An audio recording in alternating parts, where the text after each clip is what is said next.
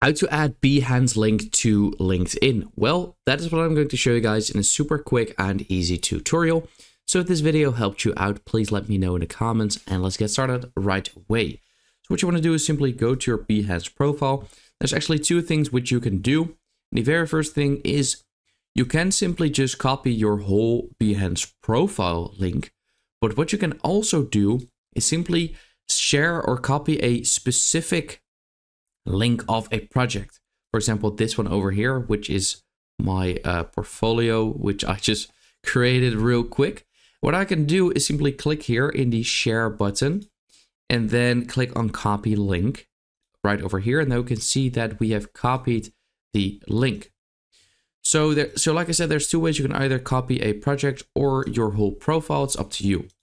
So then what you want to do is go to LinkedIn right over here simply click on your profile. Then right over here, you want to click on contact info. Then click on the edit button right over here. And at the bottom, you can see website. So you can add a website, which I'll do over here.